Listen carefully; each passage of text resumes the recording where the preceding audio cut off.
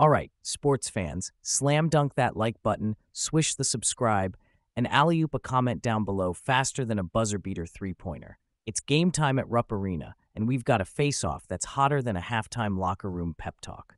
On February 24th, 2024, the number 13 Alabama Crimson Tide is rolling into town to take on the number 17 Kentucky Wildcats.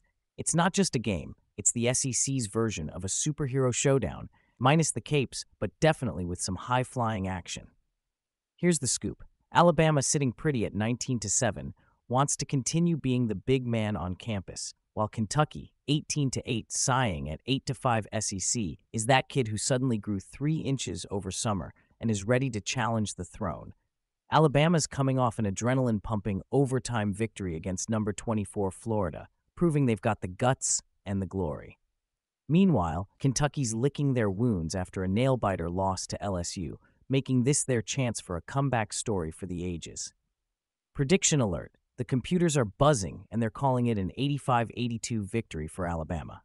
But hey, this is college basketball where dreams are made and underdogs can become legends. So while the tech might favor Alabama, never say never in Kentucky. Why Alabama, you ask?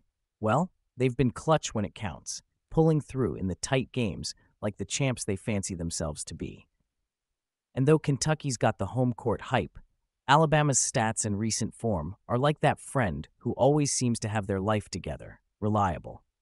Key players to keep an eye on Alabama's Grant Nelson and Aaron Estrada, who probably practice their victory dances in their sleep. And don't forget Kentucky's Antonio Reeves, who's been dropping points like it's hot. So, there you have it. In this epic clash of titans, the heart might be rooting for a Kentucky miracle, but the head and the cold hard stats predict Alabama will roll on through, leaving behind a trail of broken hearts and crumpled game plans. Let the games begin.